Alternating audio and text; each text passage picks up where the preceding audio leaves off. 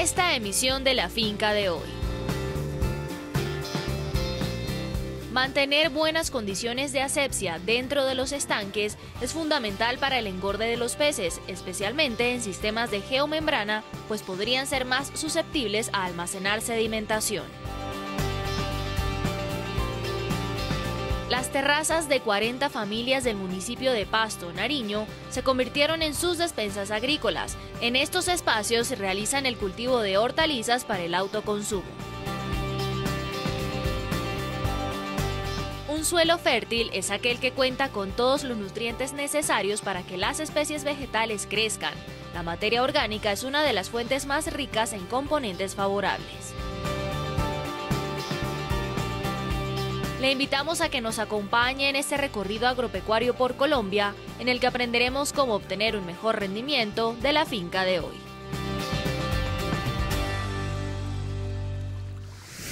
¿Qué tal amables televidentes? Muy buenos días, sean ustedes bienvenidos a este nuevo capítulo de la finca de hoy. Gracias por madrugar con nosotros siempre, todos los días, a través de la señal de Caracol Televisión. Queremos extender un agradecimiento especial a todos los productores agrícolas y pecuarios que nos atendieron en nuestro recorrido en el departamento de Risaralda, en el eje cafetero. Un abrazo para todos ustedes y más adelante les vamos a entregar detalles de las notas maravillosas que hicimos en esta zona del país. Y vamos a empezar este programa hablando sobre un tema bien interesante para todos los acuicultores que nos ven a través de la señal de Caracol Televisión y es la higiene que siempre debe predominar en sus estanques para evitar enfermedades y para asegurar el desarrollo de los peces sin ningún inconveniente. A continuación vamos a ver las labores de asepsia que se desarrollan en una explotación acuícola de geomembrana. Los invito a ver este interesante informe. Bienvenidos.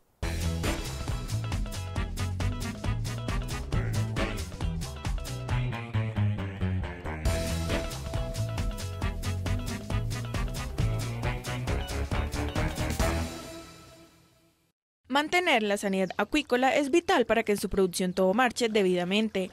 Además, sirve para que el productor no corra riesgos de posibles enfermedades o baja producción en sus peces. De la mano de un piscicultor consultamos cuáles son los parámetros a seguir para la desinfección y mantenimiento de cada uno de sus estanques de geomembrana. Entre ellos está intercambiar el agua gradualmente. Nosotros le hacemos un análisis eh, semanal al agua, pues preferiblemente lo hacemos, pero normalmente lo que buscamos cada día es hacerle un sifoneo que nosotros llamamos aquí, eh, que es bajarle más o menos un 20 o un 30% del nivel del agua. El sifoneo sirve básicamente para eliminar las heces u residuos que dejan los peces en el fondo del estanque. Además evita que permanezcan en un agua contaminada por cualquier tipo de residuos. Nosotros tenemos en el fondo tenemos un sifón en la cual está conectado a una zanja y simplemente abrimos para que vaya disminuyendo el nivel del agua y de esa manera nosotros vamos mirando gradualmente que, que las aguas vayan saliendo más limpias. La construcción de los estanques debe ser poco costosa y de fácil mantenimiento para permitir un aprovechamiento del agua y los peces. Todo estanque debe contener tuberías o canales que permitan que el agua fluya sin ningún problema, además de dispositivos que midan la regulación del líquido. O sea, nosotros utilizamos estanques de 5 metros de radio en este momento.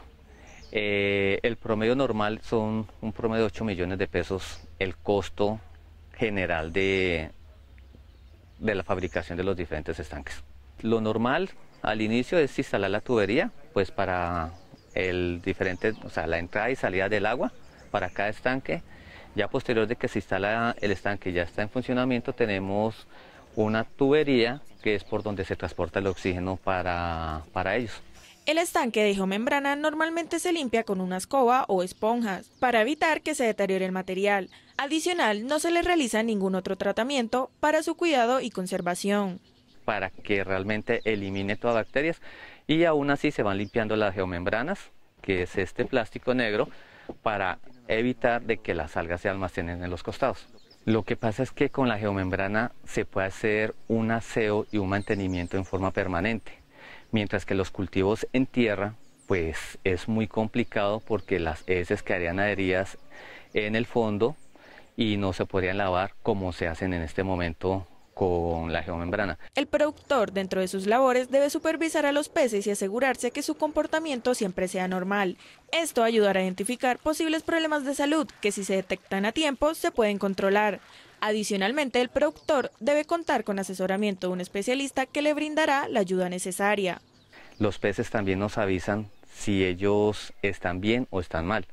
Nosotros los vimos observando en forma permanente y de acuerdo al comportamiento de ellos, pues podemos determinar ciertas cosas también y pues podemos hacer algunos estudios si vemos que no está normal el comportamiento de ellos. El agua que utilizan en los estanques de esta producción acuícola es totalmente natural. No se puede utilizar una que contenga químicos que lleguen a alterar e incluso matar a los peces. Aquí en la hacienda Santa Lucía, ubicada en el municipio de Anapoima, Cundinamarca, cuentan con aljibes que bombean constantemente el líquido. Normalmente el pH en los diferentes estanques debe permanecer de 6 a 9%. Eh, nosotros hacemos los estudios y de acuerdo a los análisis que nos arreglen, pues hacemos los diferentes análisis, pero lo mejor, lo ideal, nosotros aquí tenemos unas aguas de estanque que tienen un pH muy favorable y que beneficia enormemente a los peces. Proporcionarle un agua limpia y de calidad a sus peces es lo que les permite respirar, nutrirse, reproducirse y crecer correctamente. Tenga en cuenta que la composición del agua de un estanque puede cambiar dependiendo del clima y el objetivo es tener un líquido apto para el mantenimiento de sus animales. Ahorrarse hasta cinco veces el valor del producto y utilizar los residuos sólidos como fertilizantes son algunas de las ventajas de las terrazas verdes. Esta es una alternativa de agricultura urbana que se ha implementado en diferentes departamentos de nuestro país. Hoy vamos a conocer la experiencia en el departamento de Nariño con unos invitados especiales.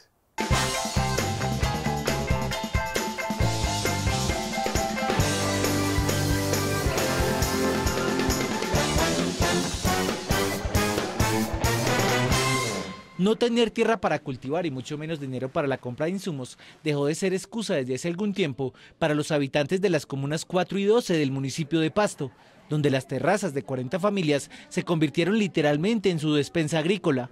Acá lo que menos importa es el tamaño del área disponible, siempre y cuando haya planeación, creatividad y organización. El tamaño interesa, sí, pero digamos que no, no es un óbice precisamente para la implementación de este proyecto. Nosotros podemos trabajar sobre una pared con un módulo vertical o en la parte eh, plana, como se dice, dentro de una terraza. El área, más o menos estamos hablando de un módulo que tiene 2 metros con 70 por 1,20 de ancho, estamos hablando de que alberga entre 80 y 100 plantas.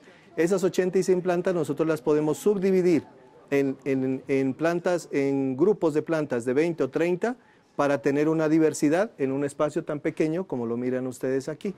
En este modelo de seguridad alimentaria denominado terrazas verdes, se cultivan hortalizas, leguminosas, tubérculos y hasta frutales, valiéndose de la construcción de pequeños invernaderos. Manejando ya lo que son invernaderos o viveros, ya eh, cubiertos con plástico precisamente para eh, aumentar las temperaturas y sembrar otro tipo de variedades dentro de la misma terraza. Tenemos nosotros ahorita de pisos térmicos cálidos como es el tomate, tenemos pepino y pimentón, pepino cohombro y, y pimentón, que son de pisos térmicos más bajos y que aquí en esta terraza nosotros ya los tenemos en producción.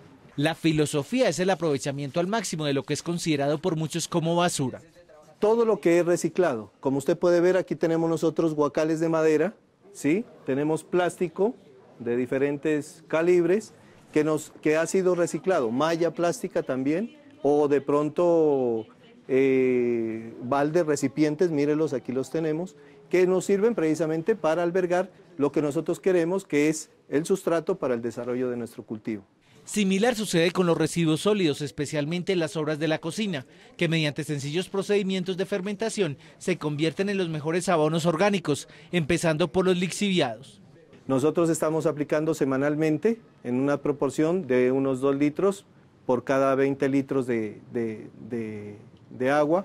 En cuanto a lo sólido, estamos utilizando más o menos entre 20 y 25 kilos por cada uno de los módulos eh, cada 15, cada 20 días. Que el proyecto ayuda a disminuir la, el impacto ambiental en cuanto al manejo de los residuos sólidos que ya no se sacan a la calle, sino que se reciclan aquí mismo. El riego de los cultivos se hace cosechando el agua lluvia, así las personas no tienen que invertir mucho dinero para ser productivas y lo más importante, saben con exactitud la procedencia de lo que están consumiendo, es decir, llevan la trazabilidad de cada una de sus plantas. La labor cultural más practicada, aparte de la fertilización orgánica y la cosecha frecuente, es el deshierve manual. Con estas técnicas, los ciclos vegetativos de la planta se reduce porque nosotros no tenemos, eh, no llegamos hasta, hasta el tamaño final, sino por el contrario, utilizamos un tamaño ya, como se dice, unipersonal para que el producto salga y nos estamos ahorrando 15, 20, hasta un mes de periodo vegetativo. El módulo de producción no descansa nunca. El módulo de producción sale una hortaliza, sale una verdura, sale y entra nuevamente otra, otra plántula porque nosotros tenemos la incubadora aquí mismo. Aquí mismo tenemos nosotros el vivero en donde sacamos el material que nosotros mismos estamos plantando y esto es un constante, es un ciclo. La estrategia que surgió de la misma comunidad tiene ahora el apoyo de las autoridades locales que buscan replicarla y le han inyectado recursos desde su programa de presupuesto participativo de cabildos. Este es un ejemplo para que la familia humilde, la familia pobre pueda salir adelante. No le regalamos una lechuga, no le regalamos un tomate, no le regalamos una libra de papas. Le ayudamos a que conozca cómo se hace una producción limpia. Estamos colocando 8 millones de partida por parte del municipio y de igual manera está poniendo la comunidad en partes proporcionales. Los productos, lógicamente, son de la comunidad, se benefician en el consumo directamente en la familia, pero también aquellos que se comercializan. Muchos de los productos se comercializan para beneficio de las familias, pero también para que el proyecto siga vivo en el futuro. La implementación de cada módulo se calcula en 300 mil pesos, inversión que según los profesionales que prestan la asesoría técnica se recupera a los siete meses de realizada la primera siembra. La trivia del campo. Conviértete en un experto con la finca de hoy. Pregunta. ¿Cuál de estos alimentos proviene de una planta herbácea? A. El pimentón. B. El pepino. C. El brócoli. Piénsalo bien y descubrirás la respuesta correcta.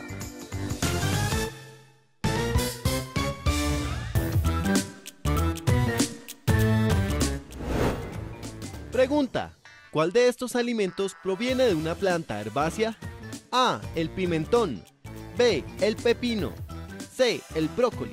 La respuesta correcta es la C. El brócoli proviene de una planta herbácea que mide aproximadamente 70 centímetros. Se compone por sus hojas grandes, estrechas y verdes oscuras. Se cultiva principalmente en los departamentos de Antioquia, Cundinamarca y Nariño. La materia orgánica favorece la fertilidad de los suelos. En agricultura, un suelo fértil es aquel que cuenta con una capacidad interesante y además tiene un alto contenido de nutrientes para que las plantas crezcan sin ningún inconveniente. Veamos a continuación los beneficios de tener un suelo fértil.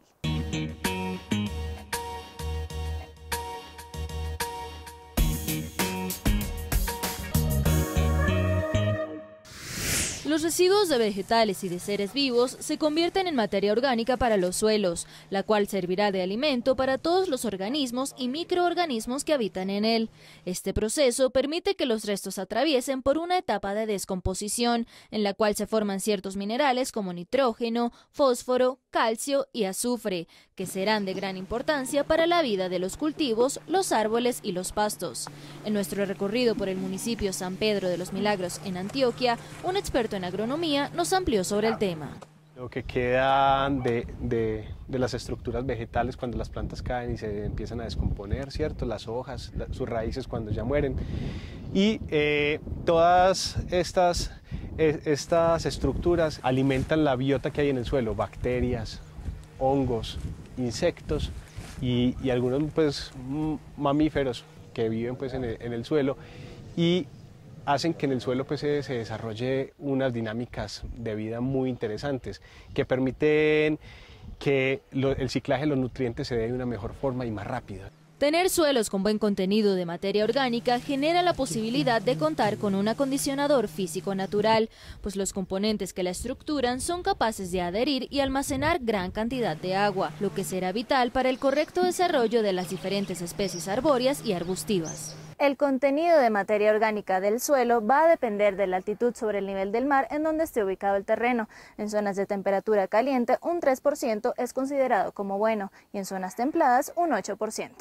La temperatura ayuda a un proceso de mineralización. ¿En qué consiste este? Este consiste en que los tejidos se descomponen mucho más rápido y liberan los nutrientes como el nitrógeno y el fósforo mucho más, mucho más rápido. Aquí en esta altura, 2.400, 3.000 metros sobre el nivel del mar, esa mineralización eh, se da de una forma más lenta. Entonces, ¿qué hace? Que se, formen en el suelo otros compuestos que son compuestos húmicos y fúlbicos eh, que hacen que, el suelo empiece a coger ese, color negro y a formarse como ese colchón, esa capa de, tierra negra. Cuando un agricultor o ganadero realiza un análisis de suelos en su finca y determina que hay poca materia orgánica, utilizar compostaje es una alternativa rentable, pues puede hacerlo en su propia casa aprovechando los diferentes residuos orgánicos que allí tengan.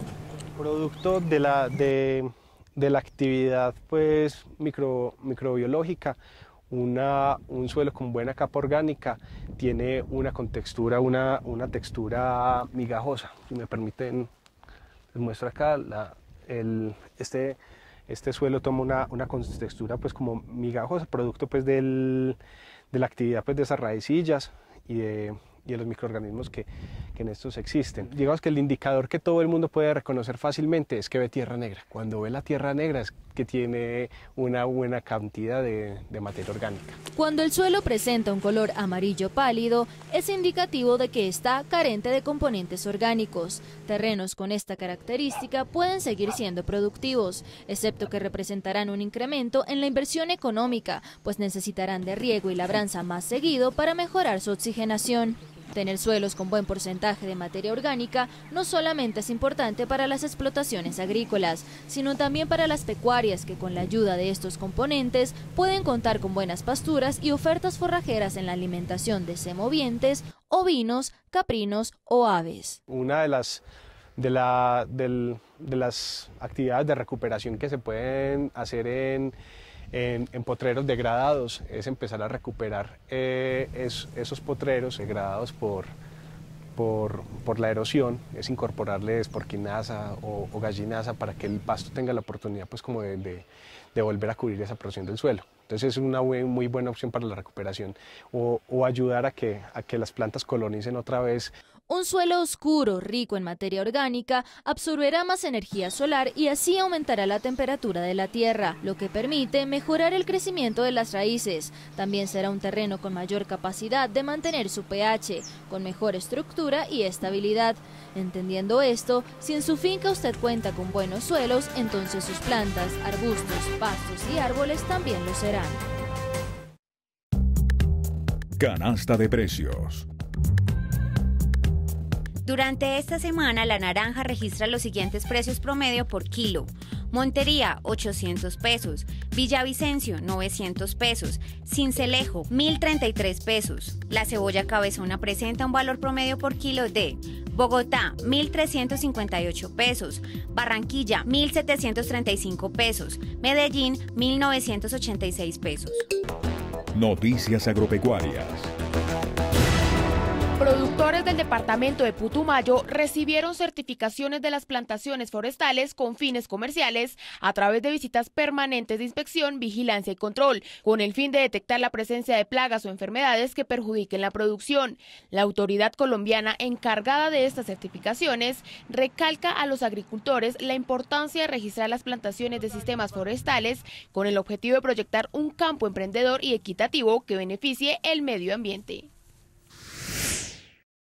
De acuerdo con la unidad de seguimiento de precios de leche, el acopio del producto ha disminuido cerca del 12% en el primer semestre del año, con una cifra de 1.523 millones de litros, mientras en el 2018 se recogieron 1.726 millones de litros. Además, el reporte indica que el promedio de acopio en lo que va del año es de 254 millones.